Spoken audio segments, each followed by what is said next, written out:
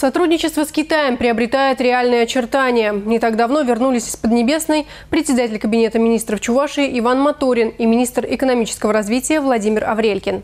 Напомним, в составе делегации Приволжского федерального округа они побывали в провинции Сычуань. А теперь делегация Китая приехала к нам, чтобы обсудить строительство нового сельскохозяйственного комплекса агропарка. Китай становится ближе. В формате Волга-Янзы регионы ПФО и провинции на реке Янзы в Китае ведут переговоры о возможных инвестиционных проектах. В этом году республика заключила взаимовыгодное соглашение о строительстве большого агропарка на территории Канашского района. В течение трех лет Китай инвестирует в Чувашию 270 миллионов долларов США. Солидные вливания иностранного партнера, несомненно, пойдут на пользу экономики Чувашии. Сейчас в стадии разрешения вопросы юридического характера. Мы хотим, конечно, как можно побыстрее получить все разрешения, а после этого уже очень быстро развиваем.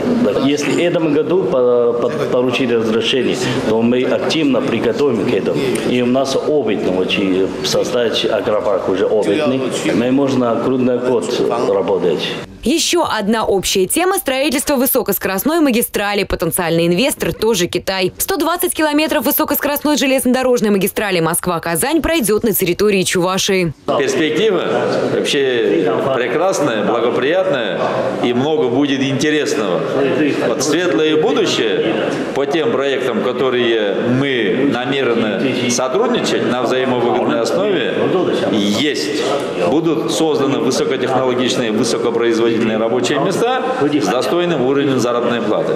Уже открылась канцелярия агропарка Чувашия Сычуань. А это значит, что проект стартовал и в скором времени, обещает китайская страна, мы увидим плоды чувашско-китайского сотрудничества. Екатерина Куприна, Юлия Важенина, Андрей Шоклев, Республика.